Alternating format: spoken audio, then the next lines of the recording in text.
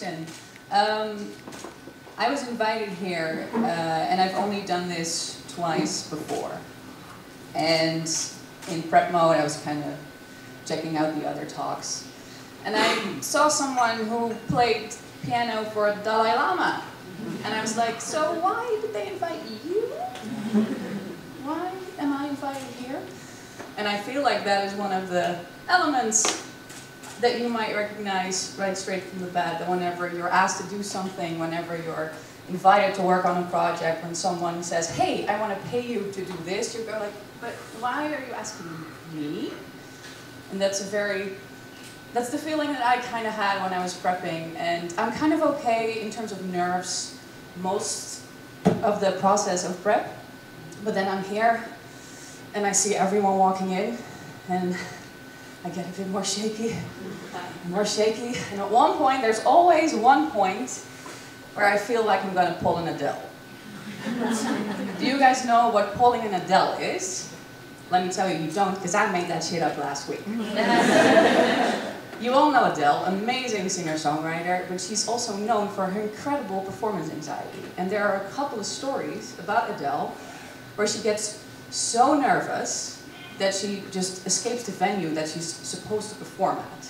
She just leaves. She's like, well, I already have a million Grammys. Guess I'm gonna see if I can them. Bye. She always returns at the 11th hour, which I find very reassuring. But there is a moment right before Adele, freaking Adele, goes on where she's just like, nope, can't do this, bye. and I don't know about you, but when it comes to work, when it comes to creative things, there's always that moment where you're just like, I'm going to pull an Adele. We don't, but we feel like we're going to do that. Um, I felt like pulling an Adele, not just in the once or twice that I'd done a talk, but when I was writing my master thesis and I was staring at the computer in terms of SPSS and statistical analysis mm-hmm. stuff, just like, nope, can't do this, four years, bye. Someone that I um, actually talk about this stuff with is my friend Alina, and Alina is a photographer, and in my mind, a great photographer. She does amazing stuff, weddings, portraits, products, projects, events. And she has made this picture. Now this picture is my favorite picture. Not just of myself, but literally my favorite picture. And my idea would be that if I were Alina, I would just be like, yeah, I made someone's favorite thing, and I would never have to feel insecure again. I just Kanye West my way through life and just, yeah, I made someone's favorite thing. What's up? What can I do for you? and maybe there's a coworker or a friend where you're looking at them and just like, if I did the stuff that you did, I'd never be insecure. But when it comes to yourself, it never feels that way. And when it comes to myself, I never feel that way. There's people that like the things that I write. There's people that like the things that I do.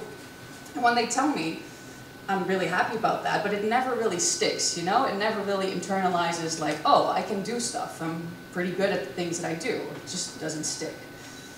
Well, that's kind of the thing with anxiety that you get over the things that you want other people to like and that you kind of feel are important. Can someone give me a glass of water, by the way?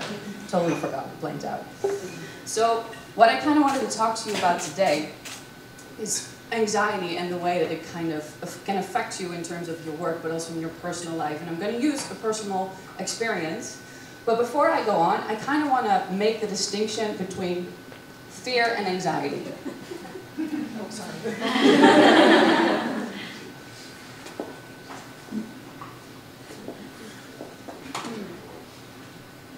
because in semantics, it's kind of murky, it's kind of convoluted, but there is a difference. So when I'm talking, I'm going to say I'm afraid of or I was anxious of, and it's kind of going to sound like it's all the same, but it's not.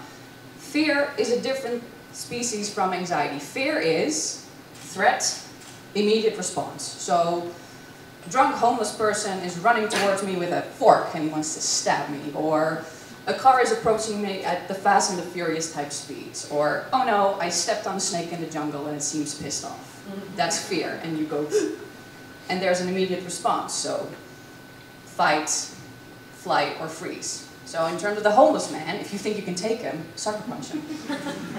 if you think that you're fast enough to get out of the way of the car, then by God, please do it. And I don't know if a snake works the same way as a T-Rex, but stand still, freeze. However, anxiety is not so much about the immediate threat. Anxiety is more about things that shouldn't be that big of a deal, but they feel like they are. They are about scenarios that might happen, and they're even about scenarios that are very, very unlikely to happen. But the problem is that even though fear and anxiety are about two different things, the underlying biological mechanism is kind of the same. You respond the same way, and the sucky thing with anxiety is, is that it lasts longer. So it's not the immediate threat, you respond and then you're done. Anxiety is something that you can take with you and have with you for way longer than you should. And that's exhausting and can really impair the way that you do things. and there's so many reasons in this life right now to be anxious about. Not so much fear, because there's not really any many life threats anymore. There's no mammoths or T-Rexes or like tigers that we have to run away from. It's more deadlines, people that said something mean to us, projects, um, pushy managers. There's more kind of that stuff instead of actual reasons to fear. And um, it would be so much easier if we didn't feel the anxiety, but anxiety is something that um, uh, we needed that before, you know? Before, like I was saying with the angry mammoths and the T-Rexes and the saber-toothed tigers, which I know is not historically correct that they're all together, but you know, I just really like the image of them all together and us running away from them. Um, there's not so much of that anymore, but the feeling is still the same. And there's one thing that is very, very prominent within especially creatives, especially millennials, and that's the following, the imposter syndrome. I'm sure that you've all heard about it, but I'm going to explain it to you anyway. Um, the imposter syndrome is this thing where we're convinced that everybody else is wrong, and we are hired, but we don't know why, it must have been a fluke. We do things, but I'm sure that they're awful, and one day, one day they're going to figure it out. One day they're going to figure out that I'm a fraud, and that I'm not actually as good as they seem to think I am right now. That's what the imposter syndrome is. And if there's any industry where you can feel like that, it is in the creative industry because there's always something to look at that makes you question everything that you have done and you're just like, well, I guess everybody's wrong. This, uh, this is wrong. This is not supposed to be this way. Now, I'm uh, a student counselor now, and before this, I worked at the university as a teacher and a coordinator, and I did a whole bunch of stuff. And my imposter syndrome was super, super strong there. But I was an anxious person altogether. And I didn't really notice that I was an anxious person because I really didn't identify as an, as an anxious person. And that's kind of my own dumbness because I had this sort of stereotype of anxiety where it's for frail and delicate people who are sensitive and who are shaky. And I have a big mouth and I bullshit my way through things and I come across and I make, it, I make a joke and I, you know, so I, I didn't really think that there was all this anxiety inside of me, but there was. Because I was afraid of really dumb things. For example, well, this is all the work stuff, obviously, but there was also so many things around it, like afraid to express my feelings to other people, because what if they would leave, or what if they would leave and take everybody else with them? Um, I think that the dumbest thing that I was afraid of, like when people invited me out for drinks, then I would, my mind would immediately go to, but what if I can get there because the subways aren't running? What if the bar is crowded? And what if they want to stay out really late and I want to go home early? Well, I don't know, take an Uber, go to a different bar, tell them to fuck off, what's the problem? but to me at that time, it didn't really feel that way. I was kind of like one of those sea anemones, where when you look at it, sort of, it's okay and it's fine, but the moment that it's poked with something, just go, that was kind of the way that things were happening with me. And um, Yes. And with work, it was the worst. Because I worked at a university, and there's all these smart people there. And I'm smart, but not that smart. So I was constantly surrounded with people who were doing PhDs, postdocs, all these super, super smart people. And somehow I became convinced that I was hired as a fluke. They were just not paying attention. And one day I would make a giant mistake and they would figure it out and I would get fired. That was what was happening in my mind. So I'd be terrified to check my email because what if the email was finally there that I made a giant mistake and they would fire me? And I would be afraid to go into meetings because maybe that would be the meeting that they had figured out I'd make a giant mistake and fire me. And finally, and I'm kind of embarrassed that I have to admit this, but it's true, it would get so bad that I would actually stand in the doorway of my office and I would listen to my coworkers walking by, getting coffee, shooting the shit in the hallway. And I would stand there so worried that they were talking about me and how bad I was doing it, how bad I was at my job. So there was already so much anxiety within me. I just didn't really connect with it. I didn't recognize it for what it was. But then there was something that gave me actual immediate threat reasons to be afraid. Have you ever been in a room with a crazy person? Well, and I don't mean this in any way as a derogatory term, because crazy is exactly what crazy is. You have lost touch with reality. You have no longer the same empathy and rationality, and there's something that's happened that made you crazy. And someone I cared about had gotten a little crazy. And I was in a room with that person for six hours. And something about the way that he saw the world just freaked me out because we no longer shared that same reality. He was gone, he was somewhere else. And what's worse is that that in itself I found very traumatizing for some reason, which then embarrassed me because what the hell, I wasn't, it wasn't something horrible that happened, I wasn't assaulted. The only thing that happened, I was in a room for six hours with someone who was a bit crazy. And afterwards, because he was at that point a little crazy, um, he would text me and he would say really, really horrible things. And all that together kind of triggered, kind of threatened my sense of self, my sense of the world, my sense of safety. And um, I was really afraid, like actual fear.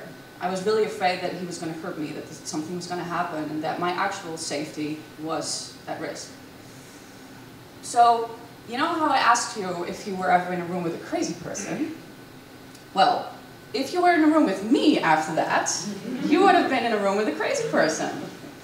Because I turned in this, into this adrenaline-fueled, hyper-vigilant, super alert, startled at anything kind of person. I remember going to the movies with my friends and I would not move from the walls because I had to check the, I had to check the crowd just in case, just in case there was anything happening. So, surprise, surprise, um, a little while later, I was diagnosed with being overworked, which is kind of the, I'm going to say in sort of kindergarten terms, it's kind of the pre-stage before the burnout. Um, if you want to ask me more about that, we can talk about that later. Uh, and post-traumatic stress disorder. How fun! So fun. Um, and these diagnoses seem different at first glance. They seem like they're about two completely different things, but for me they weren't. They were both very much rooted in anxiety and fear. But that anxiety was the core of it all. The core was, oh shit, I can't do this, I'm not good enough, I'm afraid of everything that's, going, hap that's happening around me that I can't control and that there's so much to be afraid of in the world. So, it had already been inside me, but this event that happened kind of like triggered it out in the open. And you know what they say. The truth will set you free. But first, it will put you in therapy. so, my therapy wasn't that big of a deal. I just saw my psychologist um, once every three weeks, and uh, I remember the first time that I saw him, I was just like, everything was wrong, and he just said, "Would you like me to be your uh, your, your your therapist?" He was like, "Yeah." And he was like, "Oh, fun!" And I was just like, "Okay." But what started then was something that I wish I could convey onto all of you, but I can't all tell you to go in therapy because the mental health system is already pretty busted anyway. Um, but what happened after was like a long time where I had the therapy, but I also went a lot to yoga, and I wrote so much, so much that I will never see the light of day, thank you very much. Um, like, it's a lot of soul searching and a whole journey, and kind of like staring all that anxiety in the face, and kind of looking into the abyss, as the writer once would say. And um, there's no way that I can share all of it, but I'm very happy to say is that I'm so much less anxious. And you know, anxiety in itself is not your enemy. Anxiety is not something that you should have to kill on the inside. And fear and anxiety are a part of the emotional spectrum of us humans. And you know, if you didn't feel that, I'd be kind of worried that you're either a robot or a psychopath. And in both cases, I'm kind of afraid you're going to take over the world. So it's okay to have that, but it should never impair your functioning. It should not make you so, so unhappy. Because if that's the case, then that's worth investigating and it's worth tackling. So for Creative Mornings, I kind of thought, okay, if I would have to share something that I hope is helpful, what would it be? So for the post-traumatic stress disorder, I got eye movement desensitization reprocessing, EMDR, and a lot of writing. But for all the anxiety that I had about work, about other people, about all the random things that aren't that big of a deal or are imaginary, um, I did something that's called inquiry-based stress reduction, which is actually based on the work of a self-help author. So yay, that made me really happy. Um, it's based on the work, the work of Byron Katie. I haven't read it myself, it's very bit woo-woo, bit out there. But it's actually so good that the Dutch uh, psychologists are now using it within their sessions with people. And they're actually currently working on empirical research to support the fact that this actually really, really works.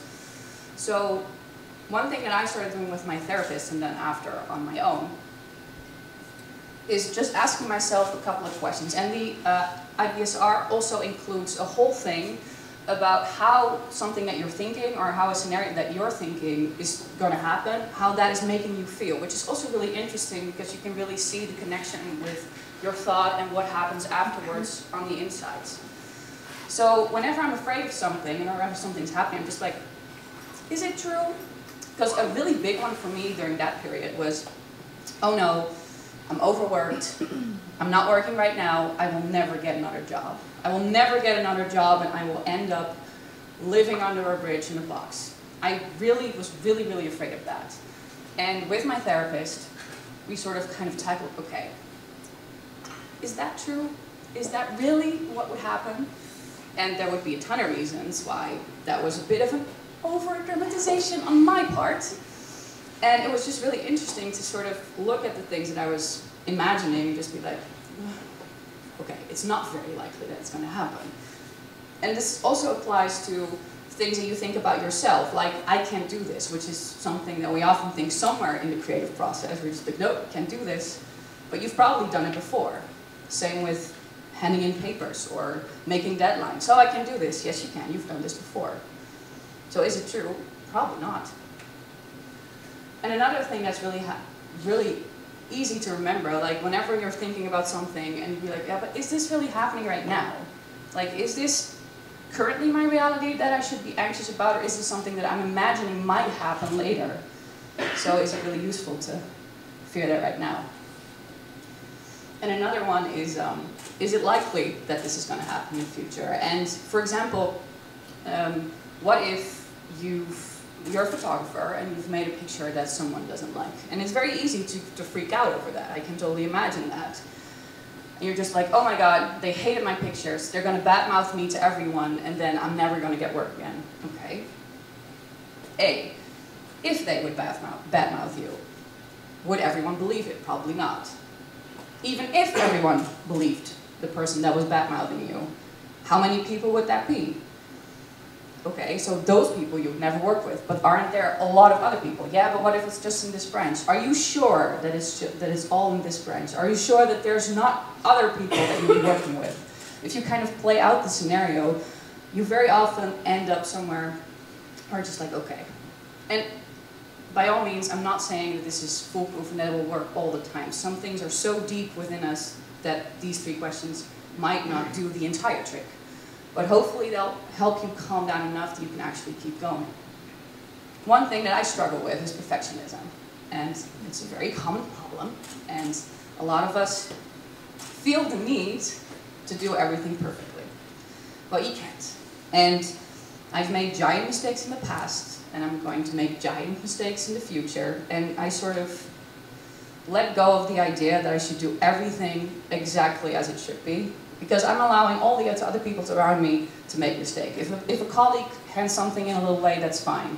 If a student forgets to do something, I understand.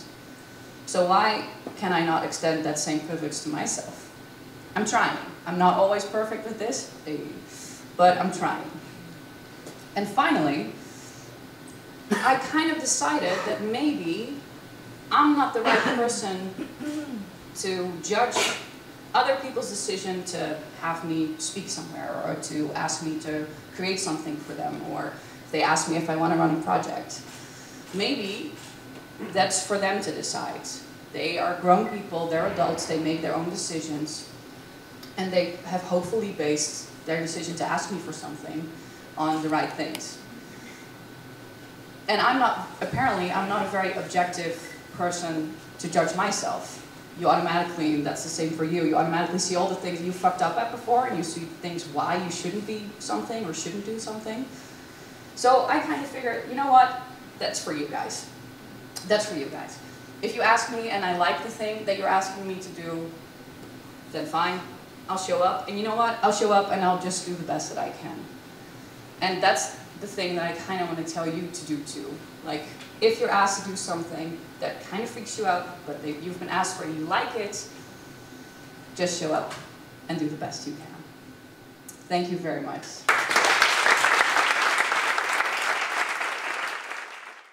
So you're asking, okay, so we have anxiety, but what are the pluses of experiencing anxiety? Well, I think it's kind of what I said before about um, anxiety and fear are a part of what we feel as humans because it guides us towards the same, towards the right things most of the time. Um, and so if you feel a little bit anxious, sometimes it can boost your performance. It's kind of like, this, but that's always the a short-term stress, not so much the long-term stress. Long-term stress is actually not very good for your body, not very good for your mind. Um, so a little bit of anxiety about things that matter to you, because there's a lot of things that matter to us, and of course we're going to feel anxious about the results, about people's opinions about it. That's fine, it just shouldn't be too big, you know? Yeah. Like I'm currently, oh sorry, yeah. No worries. Is it a less rational way of stopping your monologue when it, when it comes? So you're asking for a less rational way to stop them. Well, um, that's a really good question. So something more, yeah. No, you're totally right. It's not something that you can just turn off with a deep breath and an affirmation. I, I wish, but unfortunately that's not the case. Um, one thing that I find really helpful is um, doing anything else, but that sort of includes the body. So for me, yoga and act, it's kind of an active meditation that really works for me. Other people who are more able to do the passive meditation, but I'm kind of like, Bleh! so I'm not very good with the passive meditation yet. I'm practicing. So um, I find that a, a yoga class or going for a walk or even doing anything that sort of helps you get your mind off things is the, the, the less rational way to sort of shut it down. And even if it's sort of in the back of your mind still, it's still helpful to do something else. Because if you weren't doing that, you'd be full on focused on the feelings, I think. Yeah, yeah. Yeah. If we put this uh, discussion in the triangle of the mental health, what Yeah. do you think is the status in the Netherlands about this debate? Like it's something that is emerging, or it's something that people don't really connect with? Because for instance in UK there is even the royal family talking about it. We like to try to understand that it's not something that happens only if you are, as you say, crazy, but it's something that everyone experiences in different Yeah. levels. Um, that's a good question. So you're kind of asking like, okay, what's the status in, in Dutch mental health? Yeah. Uh, Also in the society. in the society. Mm, I feel like we're making progress, but that's more in terms of like general mental health because there's been a lot of like, I feel like a lot of people are working on getting the stigmas um, taken away from things like depression and, and anxiety disorders and all of that kind of stuff. I feel like we're making some progress. Um, in terms of anxiety, I haven't worked in that area to really make a, like a, an, um, how do you say that? I can't speak for the mental health in the Netherlands completely, um, but if I can talk from my experience with the therapist and with mental health care, I feel like they all they want to do is just help you deal with it. You know what I mean? So they're they are there to help you function better, and they are there to. And I, did, I didn't feel the judgment like, oh, you have an anxiety or so you're crazy. And when I use the word crazy, I don't mean it like a derogatory thing. Um, and I feel like I thought it was, I think that the most, like the most, the reason that people are there is, is to help them. And I didn't really notice the, the stigma is becoming less. So does that answer your question? I feel like I'm not answering. Yeah, I feel like there's definitely progress here and it's not so much a taboo mm. anymore. That's my experience. Yeah. So since you work a lot with students, do you think there's a difference in coping with fear and anxiety for like teenagers, millennials versus adults? Oh, that's a really good question. Um, so if there's uh, if there's a difference in the way that they cope, and if there should be, kind of. Um, I feel like it will always matter the way that you've grown up and the way that you've experienced the world, and there are generational differences. Um, in terms of the millennials that I see as students, um, what I see a lot, and maybe that's something that you can relate to as well, because I know that I do, there's a lot of students who just haven't really experienced setbacks as much as maybe other people who are older have done. Uh, I, for example, I just sort of skated on through, through with studying, except for the master thesis. And I know that I take failure and mistakes really, really hard. I just take it as such a personal um, failing. Like, it's not just I made a mistake or I, uh, I fucked something up. It's like, no, you're a fuck up. you you did something wrong. Um, and I feel like that is something that's very common in, um, in my generation, but even the, the even younger ones.